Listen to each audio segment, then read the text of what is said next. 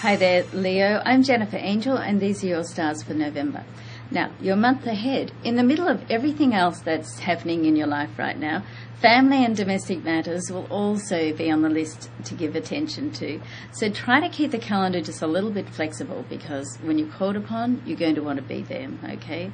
Now, on a professional note, career and money, changes at work can take you by, by surprise, but when all the pieces fall into place like a jigsaw puzzle, you'll realize why a certain situation had to happen. Okay, you're in for a period now and for some years where everything you do needs to be from the heart.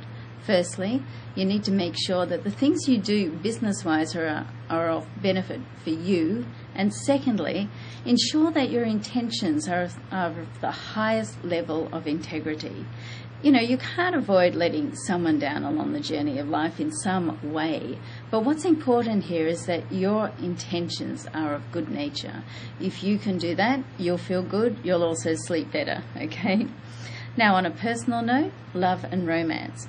Finally, Neptune in your love zone comes out of its retrograde phase on the 7th of the month. So, any relationships that you felt maybe confused or uncertain about, they can now gain, you know, clarity and sort themselves out. Uh, you'll either be shown people's true intentions, um, or you'll get insights as to how you really feel about someone or a situation. This is a passionate time with love and matters of the heart, but with passion, remember, also comes intense feelings. So beware that when everything settles down, you could feel perhaps a little bit different. Um, so leave that, leave yourself with some space to move. Be careful not to lock yourself into a permanent situation until you've had the time to think through all the pros and cons, all the outcomes, okay? Then you'll be making a decision from a more informed position. Now, your lucky numbers for the month are 9, 21, 22, 26, 27, and 30.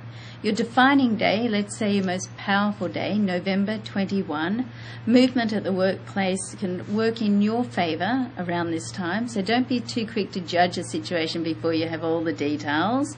Uh, when the time comes, you'll be privy to the outcome and it'll all make sense to you, okay? Thanks for listening. Have a great month and we'll see you next month. Bye.